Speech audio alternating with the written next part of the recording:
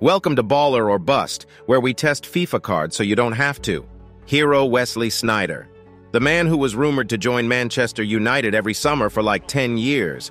Hunter playstyle because his creative ability is already crazy and he needs a pace boost because he ain't no roadrunner.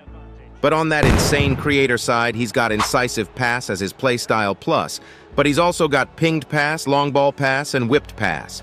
He can literally do it all from a creative aspect. Five-star weak foot as well, so he's a pure chef for cooking things up. He's also got dead ball too, which means he can whip in corners or rip some nice free kicks. From a shooting perspective, he's got power shot, but his regular shooting is his best. But also he can hit long shot Trivelas and does actually have fairly unique shooting ability.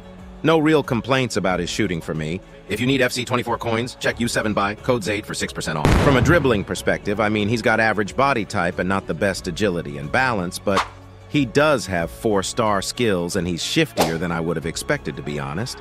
Does have 88 composure, which we love for sure.